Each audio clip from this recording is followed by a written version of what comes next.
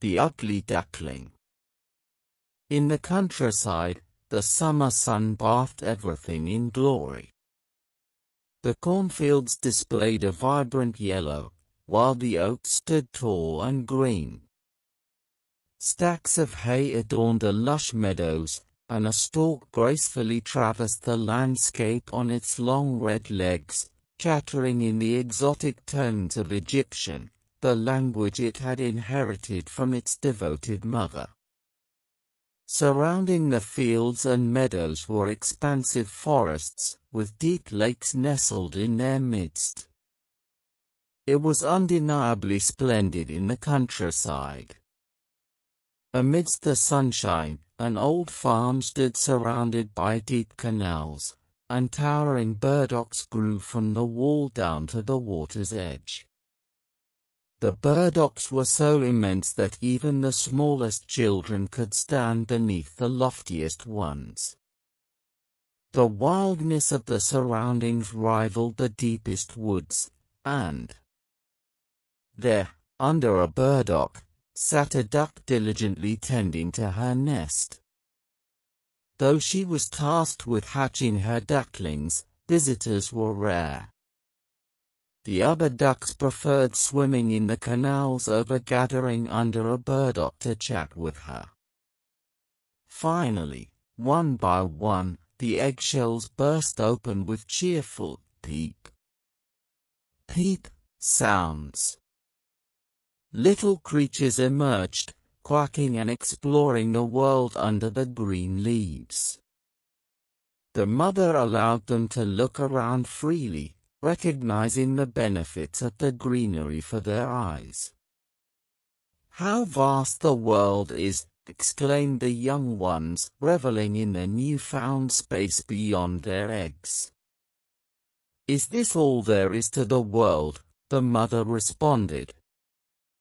It stretches far beyond, right into the parson's field, but I've never been there. I hope you all stay close together. As the ducklings continued to hatch, the mother noticed one egg still intact. Impatient, she pondered, how long will this last? Untruly tired. She sat down again, awaiting the last arrival.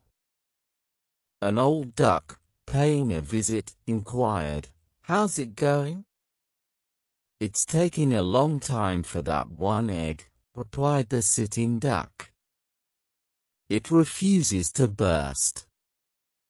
Look at the others, aren't they the prettiest ducklings you've ever seen? They all take after their father. The scoundrel never visits me. Let me see the egg that won't burst, insisted the old visitor. I suspect it's a turkey's egg. I've been deceived that way before, and raising them was a challenge. Turkeys are afraid of water. I couldn't get them to venture in, no matter how much I quacked and clacked. Show me the egg. Yes, that's a turkey's egg. Let it be and teach the other ducklings to swim. I think I'll sit on it a little longer, the duck decided. I've sat for so long already, a few more days won't hurt. As you wish, acquiesced the old duck, departing. Eventually, the stubborn egg cracked open. Peep! Peep! exclaimed the little one as it emerged. It was large and rather unsightly. The duck inspected it critically. It's a very big duckling, she remarked. None of the others look like that. Could it be a turkey chick? Well, We'll soon find out. It must go into the water, even if I have to push it in myself. The next day, with bright sunshine gracing the scene, the mother duck led her family to the canal. Splashing into the water, she guided her ducklings, one after another, as they swam adept. Even the awkward, grey duckling managed to keep up. No, it's not a turkey, declared the mother. Look at how well it uses its legs and holds itself straight. It's my own child. On the whole, it's quite pretty if one looks at it rightly. Quack! Quack! Come with me, and I'll lead you into the great world, presenting you in the duckyard. Stay close to me, so no one steps on you, and beware of the cats. They entered the duckyard amidst a commotion, with two families quarreling over an eel's head.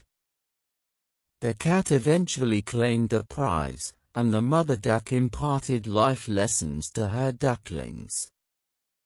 She emphasized the importance of manners, instructed them to bow their heads before the grandest duck, and warned them about the cats. In the duckyard, the other ducks observed the newcomers with disdain, criticizing their presence. The awkward duckling was particularly targeted, with one duck attacking and biting its neck. The mother defended it, but the criticism persisted.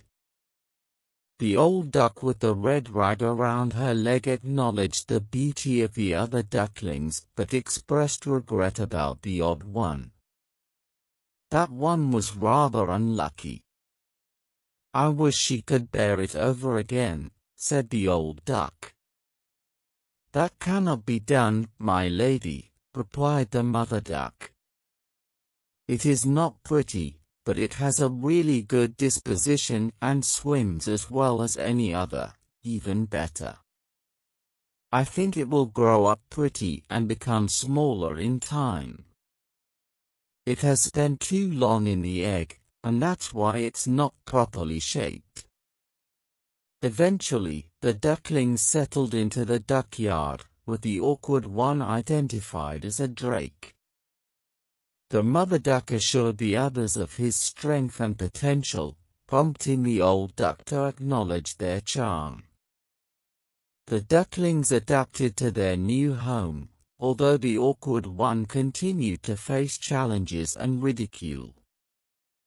As the seasons changed and winter set in, the poor duckling endured hardships, swimming in icy water to prevent freezing. One day, the compassionate peasant rescued it from the frozen water and took it home. The duckling faced more challenges in the peasant's household, being misunderstood and causing chaos. Eventually, it found refuge in a garden and discovered its true identity as a swan. The once awkward and despised duckling embraced its newfound beauty and happiness, surrounded by fellow swans and admired by all. Reflecting on its journey, the swan expressed gratitude for the transformation from the ugly duckling to a creature of grace and splendor.